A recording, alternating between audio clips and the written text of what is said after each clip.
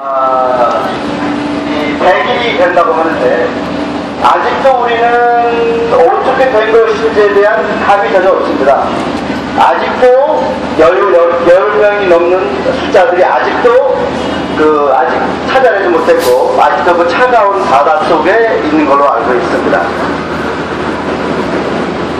왜 우리는 이러한 엄청난 사고가 난 것을 에 대한 그 원인을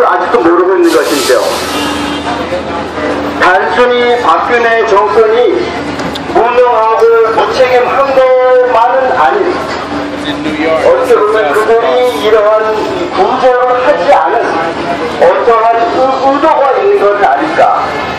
왜 해경들은 그 세월호에 돌아가서 그 구조를 못했을까? 또 구조를 하겠다고 하는 여러 도움들을 막으며 방해했을까? 왜 박근혜 정권은 특별법 제정을 만드는데 그렇게 비협조적 정도가 아닌 그걸 막고 있는가?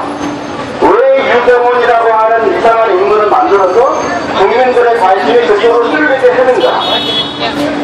여러 가지들 그 해명될 것이 많, 많은데 우리가 하나를 알고 있습니다. 그건 뭐냐면 박근혜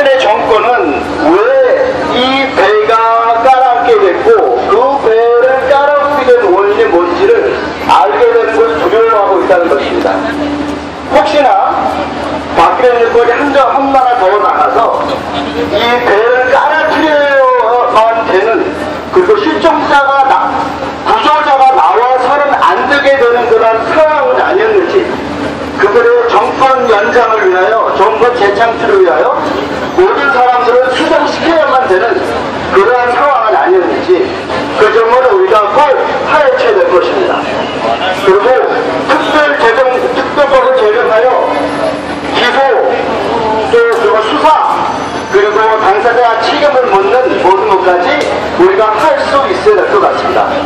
여기 나와 계시는 여러 그 세사모 엄마님들께 아, 저 개많은 아빠들 중에 한 명으로서 감사를 드리고 이것이 끝에까지 규명이 되고 이러한 정권을 언젠가는 바꾸고 우리 전 우리나라가 진짜 국민의 행복과 안전을 위해서 일할 수 있는 정부가 쓸 수 있을 때까지 여러분들 같이 나아가자고 합니다.